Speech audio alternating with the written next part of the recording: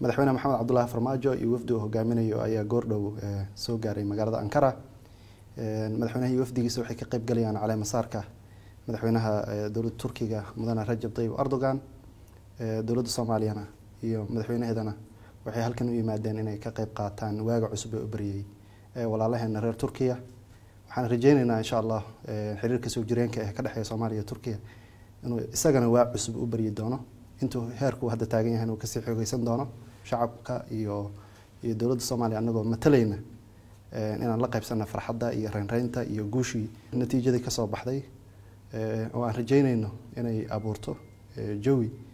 aan ku sii dardargelinayna xiriirka ka dhexeeya labada dowladood